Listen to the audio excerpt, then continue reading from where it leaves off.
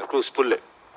Allabah, Allabah. Another stretch sweep and a magnificent catch. Looks like Nipun Dananjaya wearing number three, probably the catch of the season so far. For a moment, I was just going to say it's just a nicely stroked boundary, but in the end, it was like a plane. Is it a bird? No. Is it a plane? No. That's Nipun Dananjaya for you. Out of this world, out of this. Look, look at this again. Nothing wrong with the shot. He got it. I thought he got it into the gap, as you said. But look at how Nipun Dananjaya goes. Flying, airborne, brilliant catch. This is what you need from the youngsters, isn't it? Let's take a look at that again.